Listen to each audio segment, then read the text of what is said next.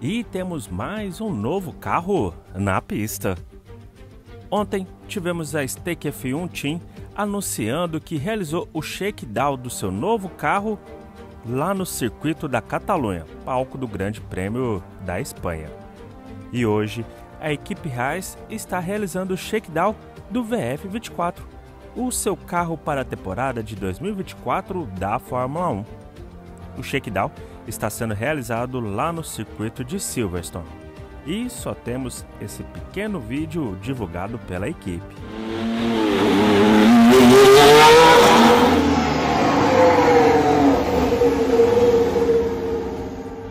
Bom, assim que a Haas divulgar mais vídeos e fotos do seu novo carro na pista, vamos trazer para vocês aqui no Point F1. Então, se ainda não é inscrito, clica no botão de inscrever-se para não perder nenhuma informação.